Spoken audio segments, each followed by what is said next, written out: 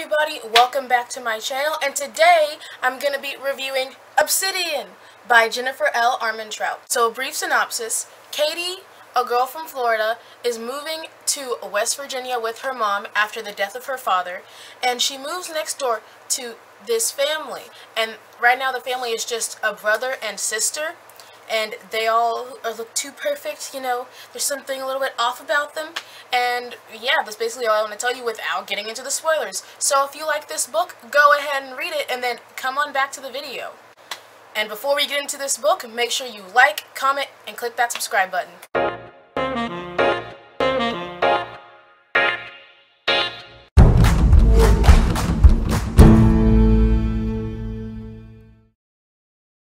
One of the things I always remembered about this book was how sassy Daemon and Katie were. Like they always had that little back and forth banter and it was always real cute and you could always tell like there was something more like it was very like witty and like cute. And so he calls her kitty cat and then we're like oh my goodness because not 10 pages earlier it's like her dad had called her kitty cat and I was like oh my god their love is already meant to be. Okay, so Katie first meets Daemon when she has to go across and ask for directions to the local grocery store. And he is so rude because her mom wants her to make an effort at making friends. And so she goes over to ask Daemon, where's the food store? And he is such a jerk to her. He is so rude and he gives her no explanations. And she's like, yeah, make an effort, they said. And, and in my head, I'm like, ah, make an effort, they said. It'll be easy, they said. So then we get to Foodland, also known as Foodland without the D. And while Katie is shopping, she runs into Dee, and Dee's like, oh my god, hello. Daemon told me you existed, but like, I didn't know that. And Dee is Daemon's sister. And so I was like, hmm, not gonna lie, this was very Alice Twilighty, and I was like, oh my gosh, this is crazy. But at the grocery store, this kid is walking, is like running and playing in the in the aisle and then his mom goes up to me and grabs him and is like, you know, you don't, you're not supposed to be around their kind while she's looking at Dee. And, and Katie's like, what in, in the world is going on? Like, why is she so mean? What did Dee do? And then, like, there's, like, this creepy guy, like, lurking. And then, like, torrential downpour comes out of nowhere.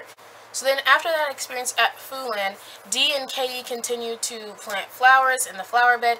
And Daemon is like, you're not good enough for my sister. Like, and Katie's like, um, excuse me, sir, who are you? What did I do to you? Can you calm down? And he's like, you're just, you're just not as good as us. Like, Dee needs to be with people that are like her, and you're just, uh, you're like the plague. And I was like, oh, that's so mean. Because Daemon's a jerk, Dee makes him help be nice to Katie so that he gets his car keys back because Dee took them. And he's like, I'll help you wash your car because Katie is struggling. She, like me, is vertically challenged and she cannot reach like the hood of the car. So he has to help. So he helps her like clean the hood of the car and he's also like, I'm gonna take you swimming. And then I'm like, it's the swimming scene. She puts on the red swimsuit and they go into the little secret alcove and they swim in the lake. But then Daemon is under the water for approximately 30 minutes. No, just kidding. for approximately 15 minutes. And Katie's like, is he dead? Did he leave me? What do I do? And then Daemon comes up. He's like, mm. and she's like, what is wrong with you? I thought you were dead. I thought you had left me. He's like, um, are you an idiot? You didn't see me come up from air. Okay, sis, next time I'm not to care about you. I'm just to let you drown. That's how Katie probably felt because he he was so mean for no reason. Like, she was concerned about him. It was like that, that scene in Descendants where Ben dives into the water and then Mal doesn't see him come up and she's like, oh my goodness, what has happened? And then, from her anger, she almost, like, trips and falls. But then Daemon saves her before she dies. And I'm like, yes, true love. And as they walk back, this is when Katie first meets Matthew. And Matthew and Daemon are like, and then, once again, lightning, storm clouds, ah, like the entire 10 yards. And then Kate's like, yep, going inside because it's raining. And then as soon as Matthew and Daemon step inside, like, the storm subsides. The next time Daemon and Katie are talking, they're talking about books. And she's like, yeah, ghosts are cool, but aliens just aren't that attractive. And I'm just like, irony! Because cut to book two. Oh, spoilers. So then Daemon and Katie are spending more time together. This is a time where they go on the hike. And on this hike, Daemon tells her the story of Snowbird, where Snowbird is trying to find her equal spouse. And in order to test them, she makes them climb up the mountain with her. And at the last second, one of them is about to fall. And Snowbird saves him. And they get married and whatnot. And Katie's like, oh my gosh, thank goodness. I thought she was going to let him fall, and that would have been terrible. And I was like, yes, that is great and that's when you can see like their emotions becoming amazing. And then that opens up the conversation for Daemon to get all deep, and it's like, ooh, never seen this side of him before. Until a bear comes in and is about to kill them. And Katie's like, oh my gosh! And she closes her eyes, and then there is a bright flash, and Katie passes out. Next thing you know, she's on the swing. It's drizzly, it's drizzling slash quasi raining and she's on Daemon on the swing. And he's like, yeah, you, you passed out. But the lightning scared the bear, so you're, you're fine. And then they're about to kiss until Dee comes in and is like, oh, hey. Katie, being, being a book, a book blogger, which we love, we respect that, we stand, she decides that she's going to go to the library and get some books. And Dee's like, I think you should hold off on that. Wait until I can go with you because I can't go with you right now. And, and she's like, I'm grown. I, I can go get books. So she goes to get books. Leaving the library, it's night. Rain is coming down. She's going to get to the car. Guy stops her and says, Excuse me, I need your help. I'm having car troubles. No! Lesson number one to all my viewers. Get in the car and leave! this is how you get God.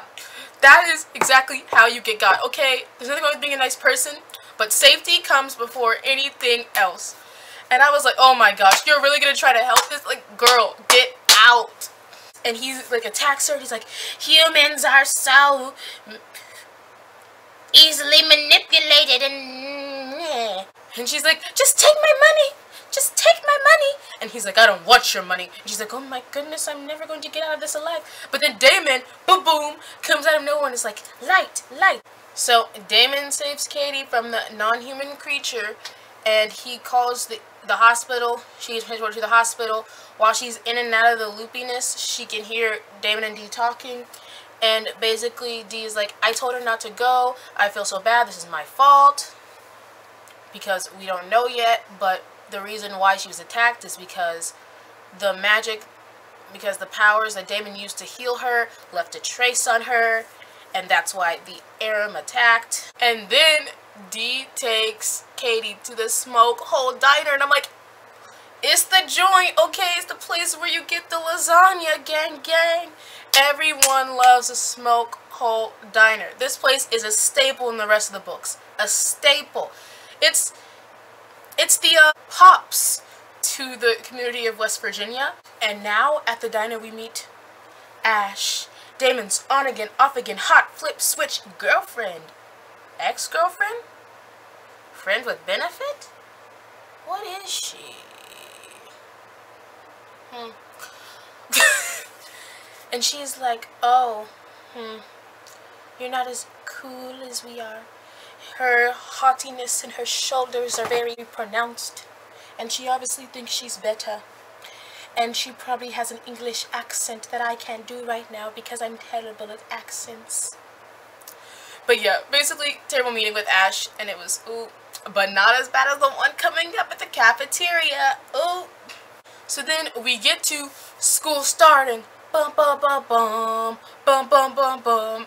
But as a senior year, you're probably like, let's get this over with. But anyway, so first day of school, and Katie's in math class. She's talking to some people. Next thing you know, Daemon swaggers in like the hot boy he knows he is. And he sits down and was like, oh my god, Daemon, he's so fine. And then that pin, that pin, this is not a pin, you can tell, pokes her in the back and they just have like this little math banter that continues for the rest of the book and I'm like ah, my favorite part of the entire series is this math banter but we have to get to lunch which also is my favorite part Dee tells Katie yo Katie sit with me at lunch so she's so Katie goes over with her lunch tray her spaghetti lunch tray and Ash the hottie girl is sitting on Daemon's lap. Ooh. And Ash is like, I think you can tell when you're not wanted. And then Daemon's like, yeah, I mean, it's obvious we don't want you here. And so you know what Katie does? Katie takes the tray of spaghetti and goes swoop. She goes swoop all over their heads. And down comes spaghetti sauce, noodles, what nonsense all over Ash, the hottie girl, and Daemon. and everyone in the cafeteria is like, I know this new student didn't just do this. People were like shocked. I was shocked. I was living. I was like, yes, Katie, this is what we wanted. This is what we needed. Show them you can't be a bully. Show them you can't be a bully if you don't want the smoke. Good job. But I'm noticing something. Katie is quite klutzy. So when she and Daemon are having a little argument and she runs out in front of a freaking truck, of course he has to stop her, stop the truck with his alien powers, and boom, the secret's out. They are aliens. They are the Luxen from Lux, and they have their enemies, the Arum, the Arum is what attacked Katie because she had the trace on her from the last time that Daemon had to use the had to use the source to scare the bear away. And now we know who we're going to face as the antagonist. We have the Arum and we have the DOD because the Department of Defense, the government, is checking up on the aliens and making sure things are going how they want it to go. And then that is when we get the revelation that Dawson was Daemon and Dee's brother and he disappeared with a girl named Bethany and Daemon is like, yep, da Dawson and Bethany fell in love and now they're dead. So what we're not going to do is we're not going to have a human get too close to another one of my siblings and one of my people because I have to protect them. And then that's when we finally start to get some emotions as to why Daemon's so mean to Katie. Sure, a little unjustified. But we like to humanize people, okay? That's how you grow to love a character. But then also, Katie was right. She was smart. She was like, well, well, did you actually see the body? And Daemon's like, I know. Mm-mm. In YA, if you don't see the body, then no body is dead. Remember that. If you don't see the body, then nobody is dead. And while they're and while they're talking about this and Katie is figuring things out, she decides to tell him about how she felt when her dad died of cancer. And then we get to see Daemon and Katie be vulnerable both with Dawson and Katie's dad and see how their relationship is starting to blossom and it's beautiful. But then we get into Simon. And at this point I'm like, who is Simon? I don't remember Simon. Simon is a jerk, okay?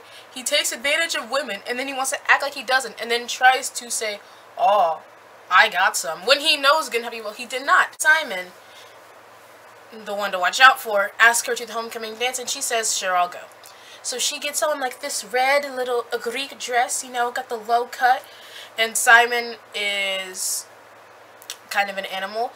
Not even kind of, is an animal. And he's harassing her and groping her and it's completely inappropriate. So then Daemon finally, after they get to the uh, cornfield or whatever field they're in, Daemon pushes Simon away, freezes time, and is like, mm-mm, this is not what we do. And then Katie knees him in the groin, and yes, we have gotten rid of Simon. And it's time for Daemon to take Katie home because whoosh, no.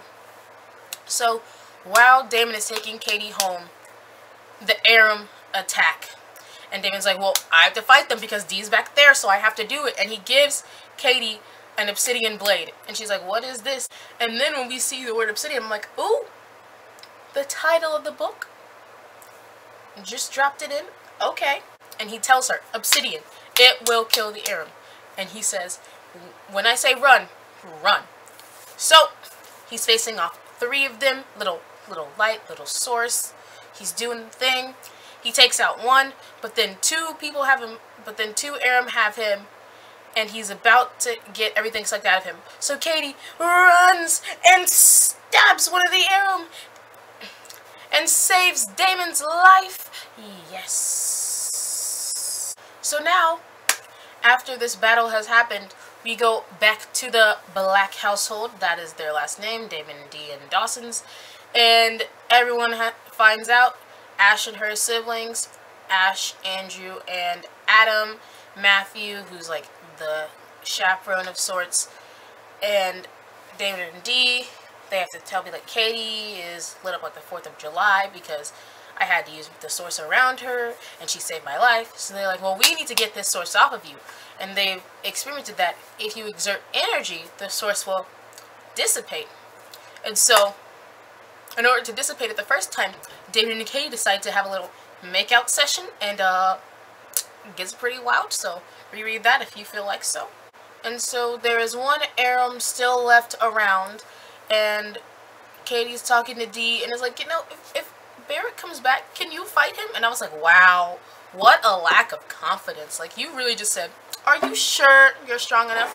And now, this is when Daemon calls Dee and is like, yes, Baruck is coming. And Katie's like, well, I have to lead him away from this house because, you know, I don't want to hurt you. So, Katie makes Dee light her up and, like, source her. So, and then she drives out. And then Daemon calls Katie and is like, are you on crack? What are you doing? Like, you are a human. You can't do anything. Why would you do this? So Daemon has to go find her. But in between then, um, the Arum, Baruck, uses his Arum abilities to open the car, trap the car, and push her out. And he's about to kill her until Daemon comes. He's about to kill Daemon because then Dee comes and Daemon has to defend Dee. And so everyone's like kind of on the ground like, oh my gosh, this is not going to happen. But then somehow Katie uses the energies uh, and kills Baruck. Little do we know how far these powers go until the next chat until the next book. But she does this and yes. So now they have defeated Baruck and Daemon goes over to see Katie and the back of her neck tingles and I'm like this is their connection. Oh, we're gonna get to it where they're connected. And I was like, this is great. And then Daemon's like, I love you. And Kay's like, no, you don't. And he's like, yeah, I love you. And I'm gonna let you know how much I love you. And that's where we end off with the book. So yeah, not gonna lie, this book was so good. I read the next book the day after in like six hours. So the next one's gonna come out real soon. This is my review of my reread of Obsidian. And next, I'll be rereading Onyx. I keep forgetting that it's not Opal, but it's Onyx by Jennifer L. Armentrout. So yeah, I'll see you next time when I continue rereading the Lux Chronicles. As always, remember to like, comment, and subscribe. If you're looking for something to tie yourself over, you can watch my Descendants 3 book tag or my Queen of Air and Darkness by Cassandra Clare book review. Bye.